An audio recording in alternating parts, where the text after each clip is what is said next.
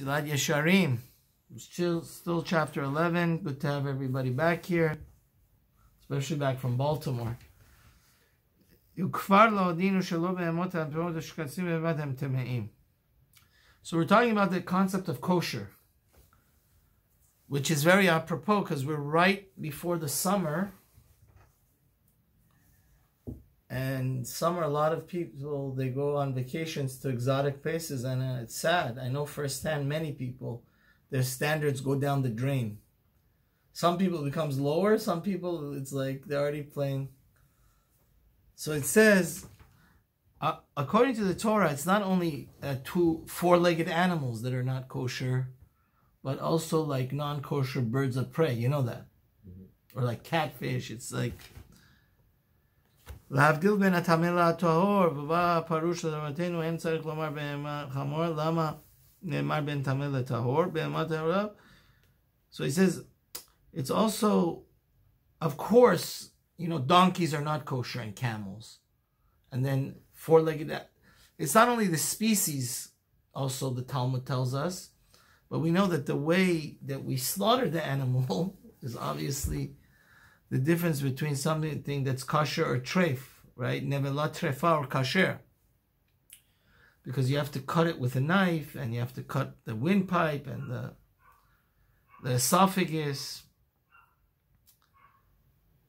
And sometimes the hair, amount of a hair, see, the Torah is a very precise science. Sometimes the hair width is the difference between the shochet making it a kosher shchita or what? non-kosher. So it says, ואמרו לשונם ציון זה וכמה בין רובו לחציו להראות כמה נפלא כוח המיסה שחסר עליו לעבדים. So it says it's so amazing that the hair breadth, the width of a hair could be the ultimate difference between you, because you, also, you always have to cut the majority of these, both of these two pipes that the animal breathes and things from, right? So sometimes a hair width is the difference between kosher and not kosher, which is really astounding. So us that the Torah is like a nuclear and atomic science. Like it says, if you have a brain in your head, you'll realize that non-kosher is like a poison. Right? We, we explained this last time, Elliot, but it's a very good mashal. If there was a 1% chance that in this cup of water there was non-kosher, um, there was poison in it, would you take the chance and eat it? Drink it? No. So the same thing has to be with kosher, because po- non-kosher is poison to your soul. Veggie grill, and all these people. It's sad. I just because I know so many people.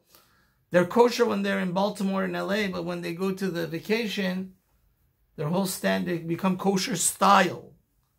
What the heck that that means, I don't know. You know, the Torah is not a salad bar. We have to be committed to Hashem and all, you know. So he says, so he says, even if you have a 1% chance that this is poison in it, you're going to stay away. Same thing with kosher. Because by the way, your soul is eternal. How are you going to be so sure you're going to do the right teshuvah to get this poison out of your soul? And also, we said last time the worst ramification of eating non-kosher is timtum halev. The Gemara says. You know what that means? It causes your whole conscience to become clouded and dislike Torah. You know, a lot of these people they have like nuclear-proof concrete in their head is because they eat unkosher. You tell them the most beautiful Torah ideas and spiritual ideas of God and love of Hashem and all these things, but they still don't. So it says, So he says, you have to understand that mamish, mamish, mamish, it's poison to your heart and soul and your neshama, these non-kosher. And if there's a 1% chance, we don't do triangle K. We don't do K. We only do OU. We do Bet Yosef. He says, he says anybody that wants to play games and be lenient with these things and go into gray zones and is just he's he's an imbecile. The Ramchal says, and that's what King Solomon, your namesake, in chapter twenty three in Mishlei says. The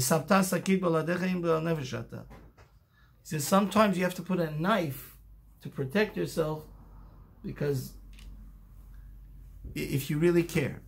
So now he wants to talk about. Um, you also have to understand something. The Gra talks about this in his letter, Rav Eliyahu Vilna. He says that there's a lot of danger of sinning when you're in a crowd, when you're in a social circle. What are those sins? Honat devarim, saying uh, you know a nasty word to somebody and embarrassing him, you know. Especially men, sometimes you know boys will be boys. Some people have bad taste and you know somebody really gets hurt because he he, he they they take they, they say too much sharp words or they embarrass him or you give him bad advice um, you say rechilut you say gossip lashon hara so he's saying this chapter in the Mesilat Yesharim is nekiyut so it's like it's we're in a war like we just said before the satan you always have to know like if you're in different parts, for example, in Ukraine, you have to have a certain amount of gear because if it's freezing cold, you have to wear white camouflage, right, instead of green, which is in the jungle. You have to know your your war territory. Same thing here. The Ramchal is saying our ultimate goal is to be holy and totally pure. Totally holy and totally pure like God, right? So when you're in a social setting, you have to know that, hey, it should be on your red light radar, hey. Sonar, it should be on your sonar, hey. Am I embarrassing somebody? Am I saying Lashon Hara here? Am I, you know, doing destructive things that is taking away from my purity in my closeness to God? You understand? Like you could cause, you could cause sinat chinam, right? Or when you're in a social circle, somebody abuses you, you want to abuse them back. That's what? That's the sin of taking revenge. Somebody doesn't believe you, then you're susceptible to the sin of swearing. And if it's not 100% true, it's swearing falsely, which is the Ten Commandments, right? Or you could uh, lie or make chilul Hashem. So the Ramchal says these are all these things that, well, if you're yourself, like Rabbi Nachman Abreslov doing Hitbodinut in the middle of, uh, you know, the Yosemite uh, or uh, Zion. Zion or Olympic National Park, there's a, there isn't a live human being within hundred miles of you. You know, some of these national parks are the size of states. You know, mm-hmm. the Yosemite Valley, it's only like it's actually hundred times bigger than that. The park. Mm-hmm. Some of these trails, there is there's there's there's more bears within the five mile radius of you than people. So, are you gonna do any of these sins of abusing anybody? There's nobody around to abuse the bear. I don't think you need to swear to the bear or lie to the bear or cause chilul Hashem to the bear. And it says, who could really say that they're whole, totally pure from all these things? Because they come up a lot, you know. Mm-hmm. Sometimes you want to show your big, big shot, so you misrepresent and lie, right?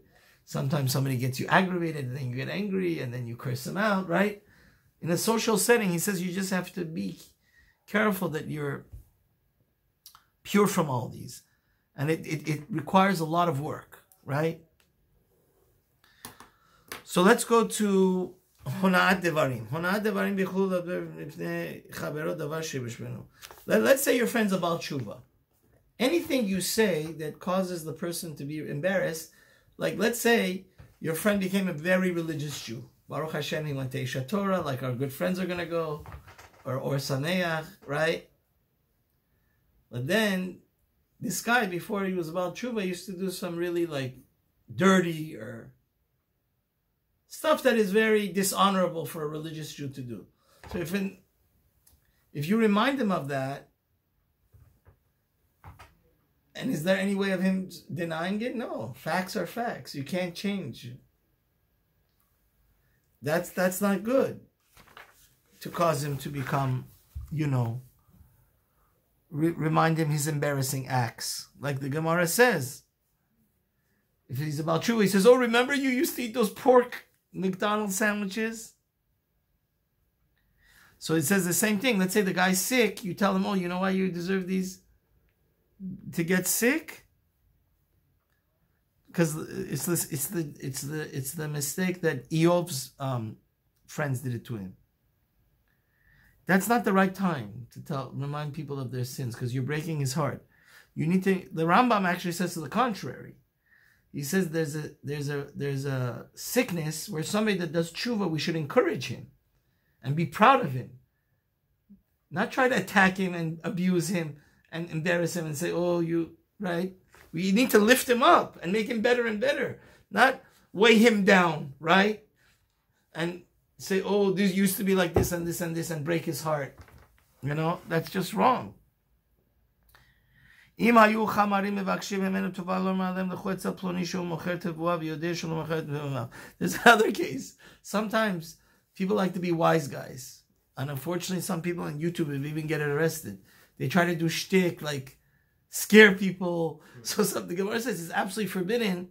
Somebody's new in town, he, he's looking for a grocery store. You say, oh, go to this address, and the guy sells tires. That's onad devarim. You're misleading and misrepresenting. Um, and the Gemara says it's worse to break, say abusive words to somebody. It's even then, right? There's two ways of abusing somebody. Either you steal his money, or you make him feel bad by t- saying embarrassing and nasty words to him. Which one is worse? The words. Because the money, if you give him back, he'll be okay with you. Let's say he sold you a fake Rolex watch and the guy calls you out on it. So you give him back the five, ten thousand dollars. That's fine. But you know, especially with women, I'm telling you, this is that got to be part of our Ten Commandments series on that one. But anybody, some people are very sensitive, like me myself. I know from my own kids. Sometimes you break somebody's heart, you tell them a sharp, nasty word. There's no guarantee till the day they die they're going to forgive you and forget it, you know? So it'd be wiser to, to say, you know, and it's that's why he says you should fear from Hashem.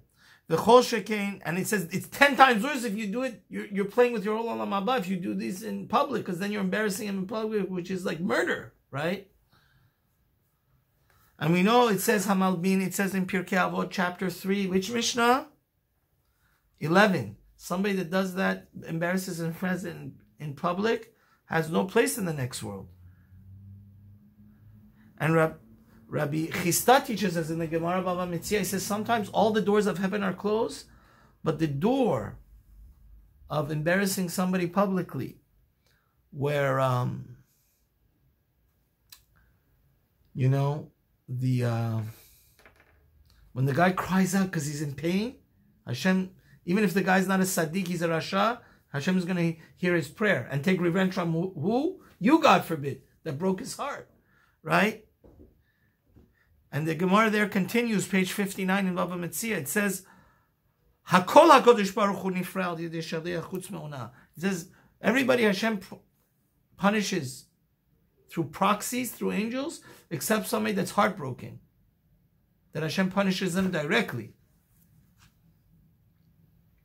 And then the Gemara there continues, Shlosha, and this is so bad because we live in a culture where a lot of times people are very, very abusive and they're just, they think it's fun to make fun of each other. It says there's three people that the, uh, you know, God forbid, the Gemara says that there's kind of like a metal barrier between us and Hashem.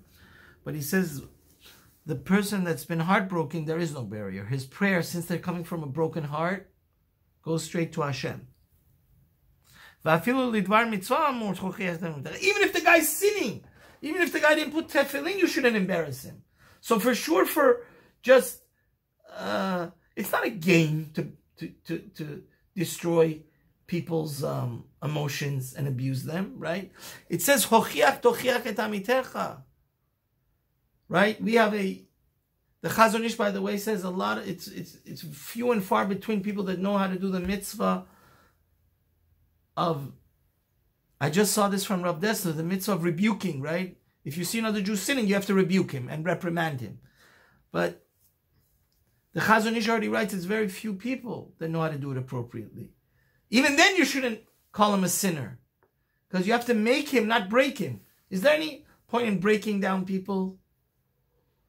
I once, Rav Dessler said actually, most of the time, even even uh, Sadiq people, they, they, they don't like to hear to Musar, right? It reflects off. The Gemara there says you can't make his head face become red if you want to give him, reprimand him, and rebuke him. So he says we have to be super guys. By the way, if you look at that Arizal, by the way, kabbalistically, it's a scary thing. It says most people, the reason they become Gilgul is because because of this type of stuff. Because if you if the guy didn't forgive you, then you're gonna have to become reincarnated. He's gonna have to become reincarnated, and then what's gonna have to happen? God, God is gonna have to make it straight. Things that are between you and Hashem, like not keeping. Okay, Shabbat is like a cardinal sin, is a very bad thing. But like other stuff that's between you and Hashem, Hashem could send you to Gehinom. But if it's between you and the other person, right? That's why the Gra, writes, like let's say somebody stole from you money. It's best that you forgive it because both you and him are gonna have to come back. And it's a big punishment to come back in this world. You know? People think it's like a funny thing, this whole thing of Gilgulim. But the body, the neshama, would rather bask in the glory of Hashem, which is God willing going to lead me to my next year. Thank you everybody for listening. Till we do it next week. Thank you.